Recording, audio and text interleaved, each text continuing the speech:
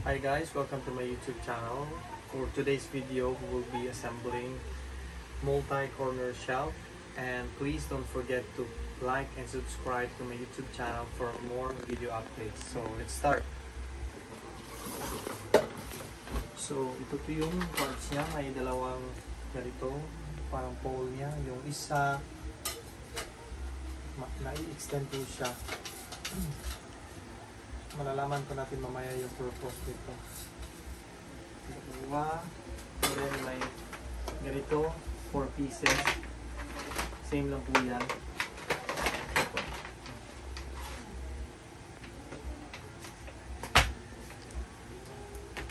So ganito po, may apat rin pero yung isa naka-attach na.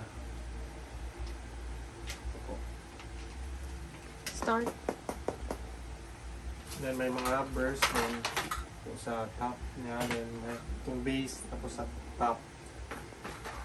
So let's start. So first, yung base niya, then ang unang ilalagay is yung hole na walang extension. So ito po. Then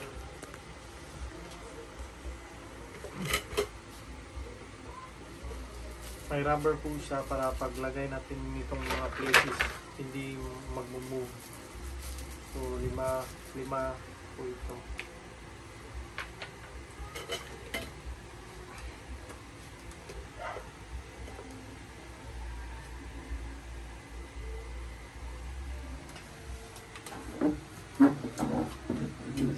No.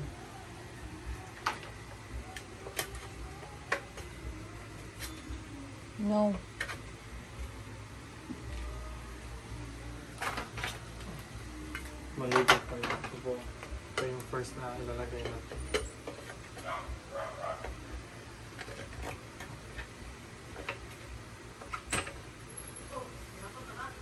So, yung rubber, nagsa-stop na po siya. Then, yung Continuation. Sana.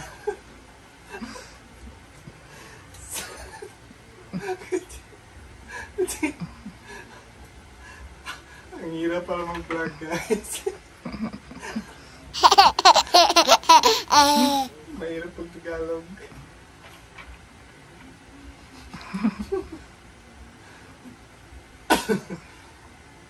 Katulo na na. Opo, ito.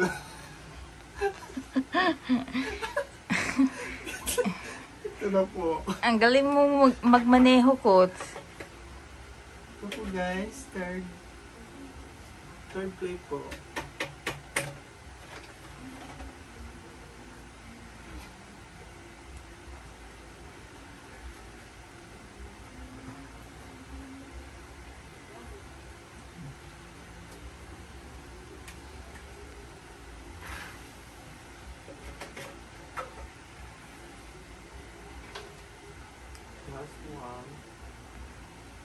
One.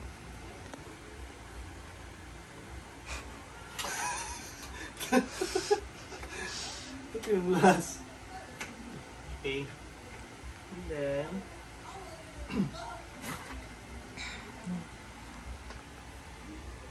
connect po natin yung dalawang pole.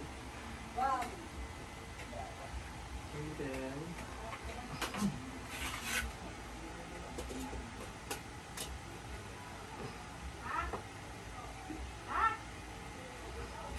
Saan mo tinig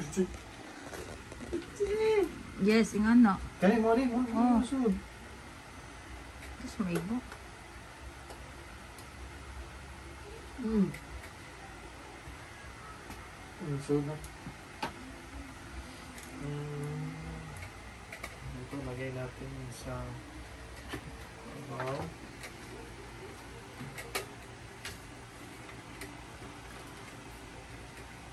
So,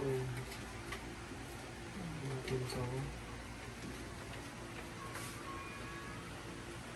Then, ito po guys yung nasa loob. I-twist po natin pa right para mag-lock po siya. Yung Kung anong- extender. Oh. Yung extender na extender niya para ma lagay po natin sa desired height nung example yung CR natin para mag-lock po siya from bottom to top yung height niya. Ilak daw. So, ilalak ko po. Ito po.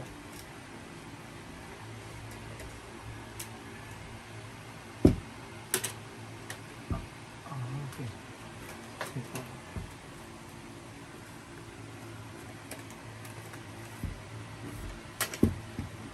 Okay, on.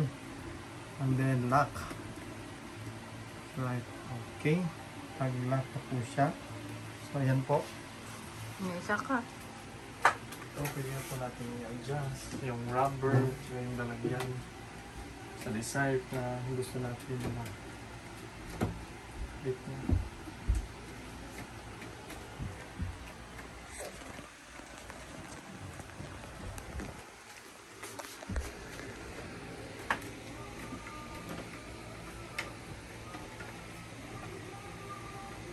So, then, adjust.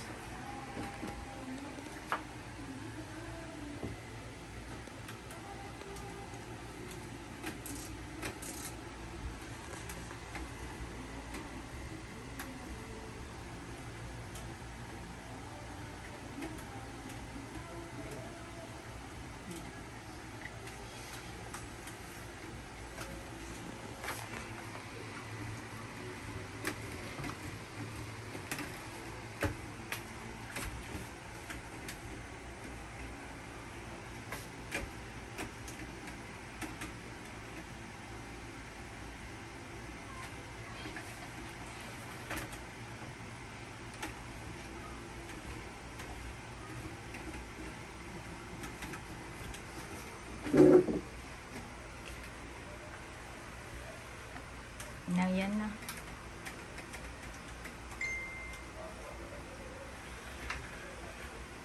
Yan. Sample mo na.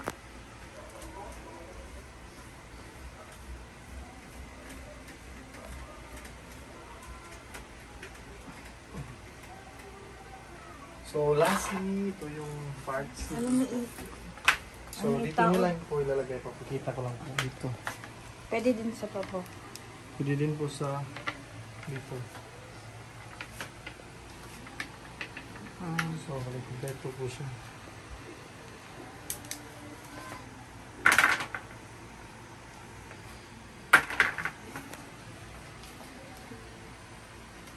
Goodbye. Uh, thank you po for watching this video, guy, guys. Please don't forget to subscribe and like my YouTube channel for more video updates. Thank you.